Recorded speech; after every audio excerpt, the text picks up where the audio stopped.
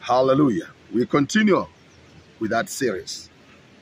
Now, today, I want us to move on to something that is very, very important. Once again, in this subject of prevailing in prayer. Prevailing in prayer. And we are going to the book of Deuteronomy, chapter 5 and verse 5.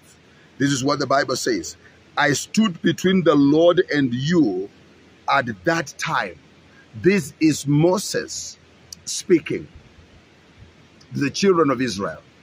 He says there are moments when I stood between you and between between you and, and God. You remember there was a time when Moses was on the mountain and uh, God tells him, Go down. Those guys have rebelled against me. They have made an, a, a calf, they are worshiping it. And God's anger was waxing hot on the nation of Israel, and God wanted to wipe it away. But Moses said, Lord, if you truly, truly, if you truly want to destroy the children of Israel, then blot me out of blot my name out of the book of life. This is how powerful an intercessor can can go. An intercessor comes to a point where having understood the judgment of God, having understood the severity of the judgment and the anger of God, an intercessor will dare stand in the presence of God and tell God, God, you cannot destroy these people. And Moses says, Lord, if you want to destroy these people, then remove my name from the book of life. Don't have my name in the book of life if you are going to destroy these people. Give them an opportunity. It is possible they will repent. It is possible they will change. It is possible they will come to the knowledge of your glory. That, that shows the intensity, the love, the concern of a man and a woman who prevail in prayer, how his heart and his attitude is towards the people he is praying for. You cannot pray for the people you hate.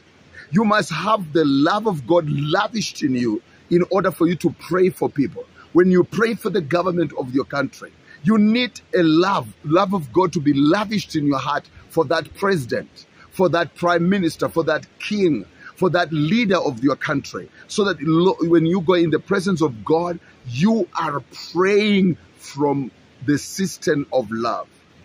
You say, God, will you not change the heart of this man? He is the president of our country. He is the prime minister of our country. He is the king of our kingdom. Lord, will you not touch his heart? God, I'm praying in the name of Jesus. God, because you say in your word that the heart of the king is in the hand of the Lord. Isn't his heart also in your hand, oh God? Will you not deal with our president? Will you not deal with our prime minister? Will you not deal with our king? Will you not deal with our chancellor? God, in the name of Jesus Christ. And God will surely deal with the heart of that leader. God raised Moses. Moses was not just a, a, prophet who led Israel out of bondage to the promised land. Moses was an intercessor. He was a man who prevailed between God and man. He prevailed in prayer. He had a ministry of intercessory to God in heaven over the people of Israel. There are things, let me tell you something. Today, all over the world, countries of the world are going through serious economic crisis. Back in Kenya, in my back at home in Kenya, the situation is dire. Is I mean, is is, dire. The, the situation is terrible. You, uh, I have seen the Americans and how they. I have traveled to UK, you know, many European countries, and the situation is the same. I've gone to, to Zimbabwe. The situation is the same countries and nations are going through difficult times. And oftentimes, when things of this kind happen, all of us as citizens of those countries, our anger is kindled against those in power. And we complain and we curse and we threaten and we wish them adversity. But let me tell you something. We have a duty as God's children to intercede for these people. Because their hearts as kings, their hearts are in the hands of God.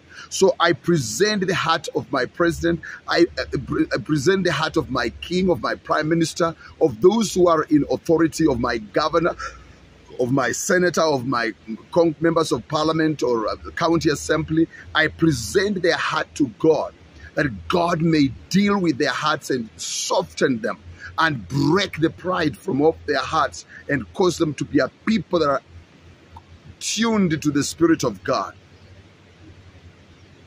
Moses says, I stood between you and God. I was an intercessor. I prevailed in prayer. And actually, each one of us who really knows the Bible, you saw how Moses prayed for the children of Israel. How he could tell God, if you are going to destroy the children of Israel, God, don't you think the nations of the world will laugh at you? And they say, Jehovah took them out of Egypt and he could not take them into the promised land. That is the same thing we need to do as we intercede for those of brothers and sisters who have backslidden, who are becoming wayward. Are we not able to say, God, will you not have mercy on these brothers and will you not bring them to yourself? God, I know this brother has committed sin. He has done a terrible thing. But you are a God of mercy and compassion. God, will you please bring him back to yourself?